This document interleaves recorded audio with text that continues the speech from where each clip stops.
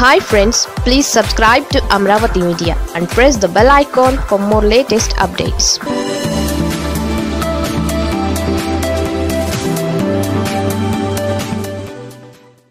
Vangaveeti Radha route ఏటు? విజయవాడ రాజకీయాల్లో ప్రత్యేక గుర్తింపు ప్రత్యేక ఓటు బ్యాంకు ఉన్న కుటుంబం వంగవీటి రంగ ఫ్యామిలీ. అయితే ఆయన వారసుడిగా రాజకీయ రంగ ప్రవేశం చేసిన రాధ ఎప్పటికప్పుడు తీసుకుంటున్న నిర్ణయాలు వేస్తున్న అడుగులతో తన కెరీర్ను తనే పాడు చేసుకుంటున్నారా అనే సందేహాలు వస్తున్నాయి. ప్రస్తుతం టీడీపీలో ఉన్న రాధ గత ఎన్నికలకు ముందు చంద్రబాబు చెంతకు చేరారు. అయితే పార్టీ అధికారంలోకి రాలేదు. అయినప్పటికీ అమరావతి ఉద్యమంలో పాల్గొంటున్నారు. వివిధ రూపాల్లో పార్టీ తరఫున జరుగుతున్న కార్యక్రమాల్లోనూ పాల్గొంటున్నారు. అయితే ఇప్పుడు హఠాత్తుగా ఆయన మళ్ళీ యూటర్న్ తీసుకుంటున్నారనే వ్యాఖ్యలు విశ్లేషణలు వస్తున్నాయి.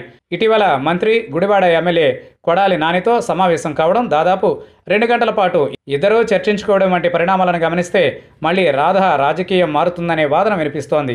అయితే దీనిపై ఇప్పటి వరకు రాధ నుంచి ఎలాంటి స్పందన కనిపించలేదు. ఆయన ఈ వార్తలను ఖండించలేదు అలాగని సమర్థించడం లేదు. సో దీనిని బట్టి ఆయన వ్యూహం ఏంటనేది ఎవరికీ అంతు చెక్కడం లేదు.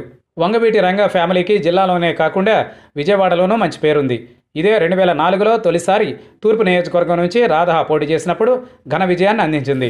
అయితే అప్పుడప్పుడే ఎదుగుతున్న రాధ తనను తాను నిలదొక్కునే ప్రయత్నం చేయడంలో విఫలమయ్యారనే వాదన ఉంది. రెండు వేల తొమ్మిదిలో చిరంజీవి ప్రజారాజ్యం పార్టీలో చేరారు. ఆ వెంటనే వచ్చిన ఎన్నికలలో ఈ పార్టీ టికెట్పై పోటీ చేశారు. అయితే ఈ ఎన్నికలలో ఆయన ఓడిపోయారు. ఆ తర్వాత పార్టీని కాంగ్రెస్లో విలీనం చేయడంతో రాధ వైసీపీ వైపు మొగ్గు చూపారు. రెండు వేల పద్నాలుగులో వైసీపీ టికెట్పై పోటీ చేసి ఓడిపారు అంటే వరుస పరాజయాలు పొందారు. నిజానికి ఒక పరాజయం వచ్చినప్పుడే జాగ్రత్తగా ఉండాల్సిన నాయకుడు రెండుసార్లు పరాజయం పాలైనా తనను తాను సమీక్షించుకోలేకపోయారు. ఈ క్రమంలోనే వైసీపీతో వివాదం వచ్చేలా చేసింది. జిల్లాలో ఎక్కడ నుండైనా పోటీ చేయండి అన్న పార్టీ పిలుపును పక్కన పెట్టి సెంట్రల్ నియోజకవర్గం కోసం పట్టుబట్టారు. దీంతో పార్టీ టికెట్ ఇవ్వనని చెప్పడంతో టీడీపీలోకి వచ్చారు. అయితే ఇక్కడ అసలు ఖాళీనే లేకపోవడంతో మౌనంగా ఉండిపోయారు. ఇక ఇప్పుడు మళ్ళీ వైసీపీ వైపు చూస్తున్నారనే వార్తలు వస్తున్నాయి. అయితే ప్రస్తుతం వైసీపీకి విజయవాడ మూడు నియోజకవర్గాల్లోనూ నాయకులు ఉన్నారు దీంతో రాధాకు ఇక్కడ స్థానం దక్కే పరిస్థితి లేదు. ఈ నేపథ్యంలో మళ్ళీ వైసీపీలోకి వెళ్ళి రాధా సాధించేది ఏంటి అంటున్నారు. పైగా ఇప్పుడు పార్టీలోకి వెళ్ళినా మునుపు ఉన్న గౌరవం ఇప్పుడు ఉంటుందా అనేది ప్రశ్న. మొత్తానికి రాధా ప్రయాణం అగమ్య గోచరంగా ఉంటుందని అంటున్నారు పరిశీలకులు.